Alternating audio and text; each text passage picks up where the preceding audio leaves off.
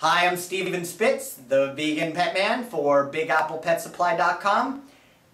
I love this product that I'm about to show you. This is such an inexpensive item that in some ways, to me, revolutionizes the way you're going to mount your domes to your enclosure. Because prior to something like this, you pretty much are sitting your dome on top of your screen top. Now I'm using an Exoterra terrarium to show you this, but it really would work for anything. A glass aquarium with a screen top, uh, a Big Apple Pro Series with a screen top. Any of these, any cage with a screen top, this will work. So how does this work? It's very, very simple.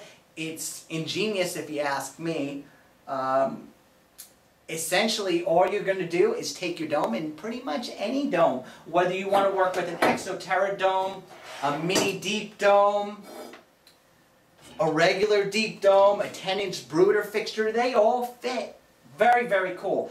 All you do to make this work is you're essentially going to slide the dome onto the bracket. You're going to take this rubber gasket, put it over the other edge, slide it tightly. So move it all the way and, and you can actually you can actually create where you want to place it on this broad piece here. But most of the time you're going to put it somewhere around there. And you can see you have room. This dome fits nicely. Now here's the interesting part about this, how this works. And by the way, these pieces right here snap to lock in and organize the cord. So I really like this. It's a very easy piece to work with. Snap and do the final snap. And then you can of course adjust these pieces to wherever you want. But essentially, how it would work is it would mount with there's there's double face tape. Now, one warning here: once you pull this off and you stick this on the enclosure, you're done.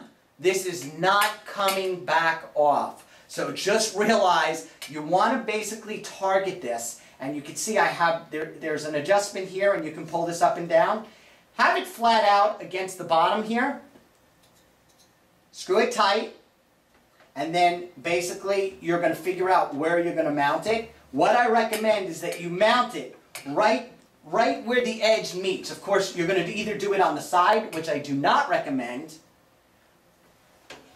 I recommend that you actually, so that you have a clean look, you're going to you're going to basically attach it to the back. And this is exactly how it's going to look. This is how it's going to hang. The miracle of this product now is twofold. It's off the top of something like an Exoterra because you never want to melt the bars of an Exoterra. These are plastic braces, so it's really great for Exoterra cages, but it's also great for aquariums with screen tops. And the reason why is, prior to this, the big deal about getting a screen top off is you've got a heat bulb, a light bulb. Well, you could have two of these fixtures side by side, these brackets, and then still be able to just lift your screen top off and go inside your enclosure instead of having to worry about taking a bulb that's 350 degrees and where are you going to place it. So the Exo Terra light bracket is just fantastic. Like I said, it's very, very affordable. It's one of the best designs that I've seen come on the market just as, just as a, a potential tool to use in the reptile hobby. So you will find this under our lighting section under reptile supplies at bigapplepetsupply.com.